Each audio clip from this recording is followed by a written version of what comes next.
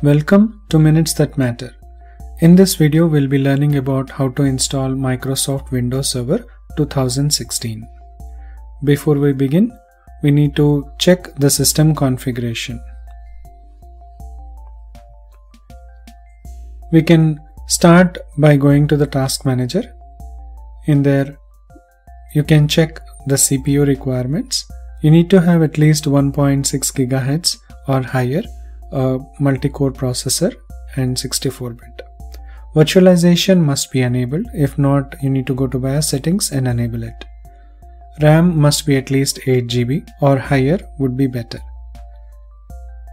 SSD will give you a better performance. If not, SATA is also good enough for the lab. And you need to make sure you have at least 100 GB of free space.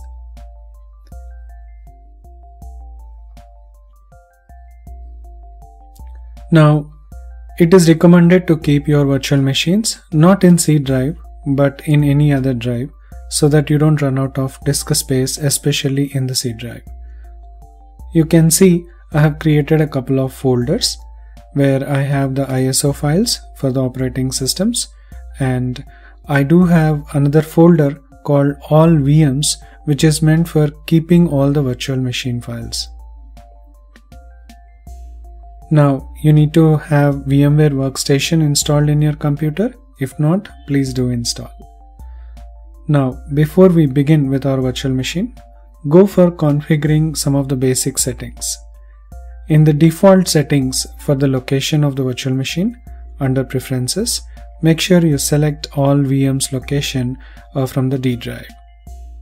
You can also make sure your screenshots are saved in a different folder. If at all you have any important screens to save, you can save all those files in a folder named for that purpose.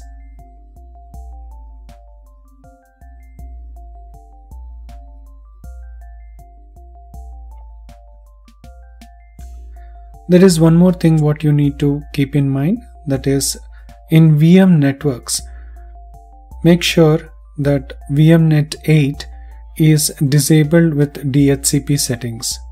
That is, in VMnet 8, by default, use local DHCP service uh, will be enabled. You need to uncheck that option to disable it.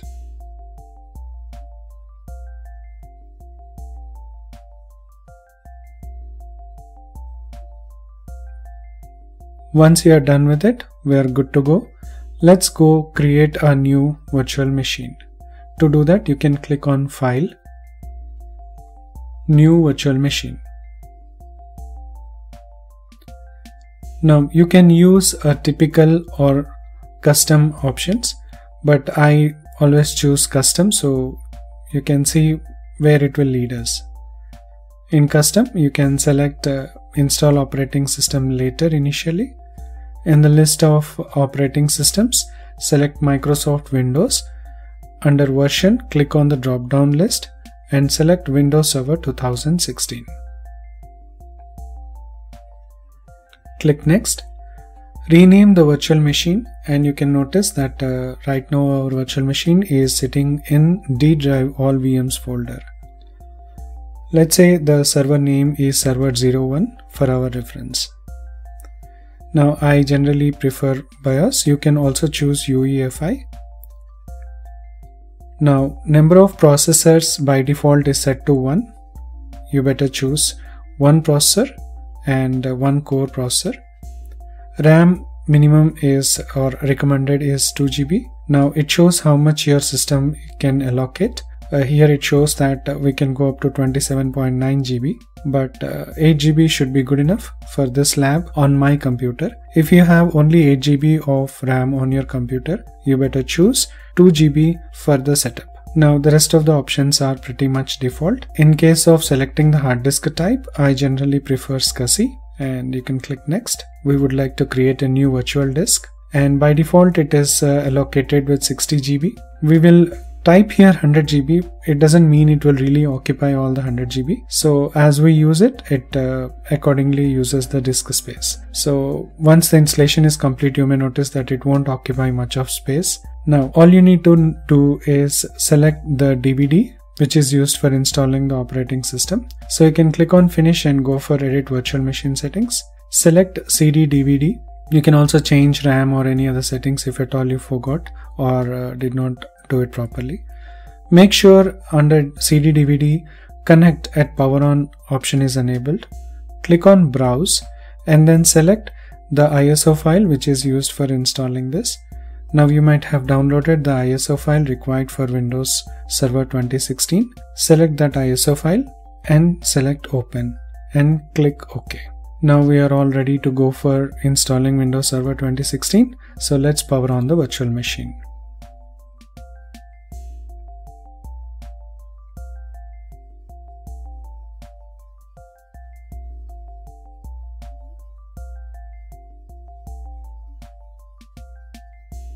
Now let's go for a full screen view of this window.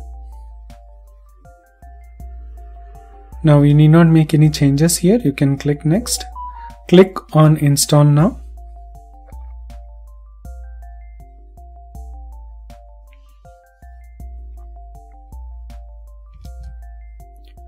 Now you have four options in here. We would like to go for Windows Server 2016 Data Center with desktop experience. You have other options too, but for this lab, we'll stick to desktop experience.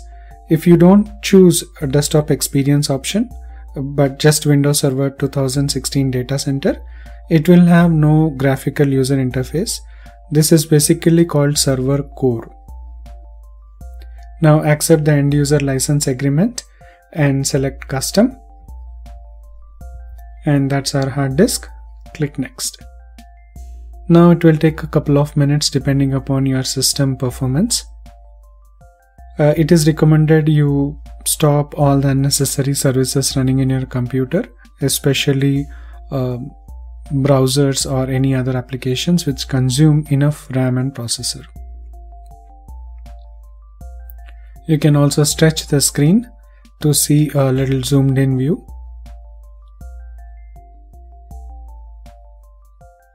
Now let me speed up the video for you here.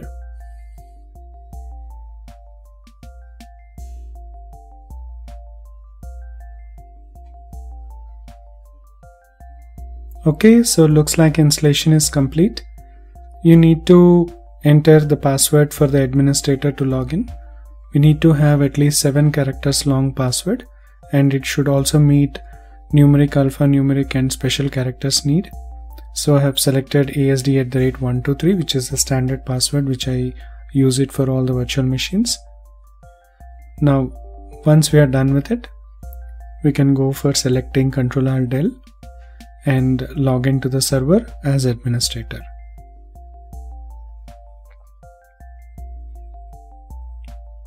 Now for the first time when you log into Windows Server as an administrator, you will see a server manager window automatically popping up.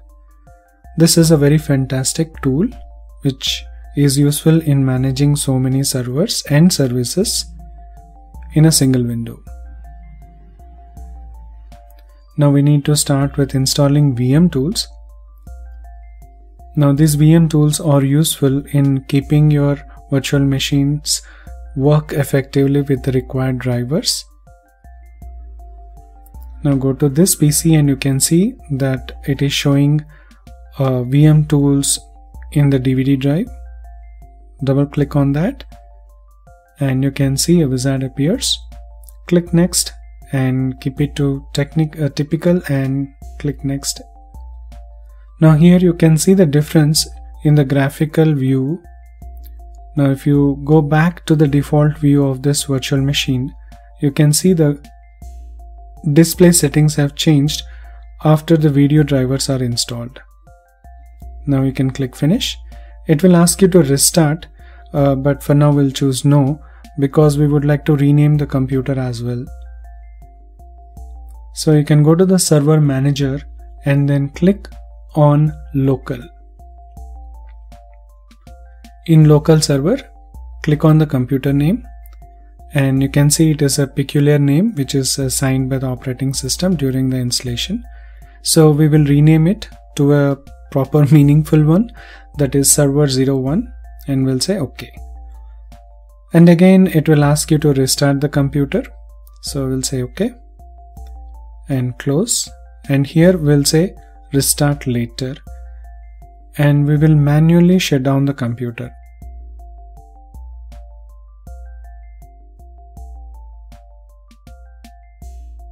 by the way this is called shutdown event tracker which will ask you a reason why you want to shut down the computer every time you choose so the reason why we chose a shutdown is to take a snapshot of our virtual machine so that if you want to go back to the state where the system was freshly installed and you want to start all over again, then this would be the best place to start.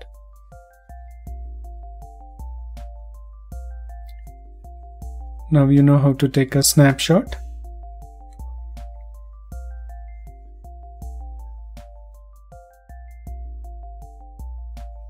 I hope it was easy to learn and we'll see a lot more videos learning about Windows Server. Thank you for watching.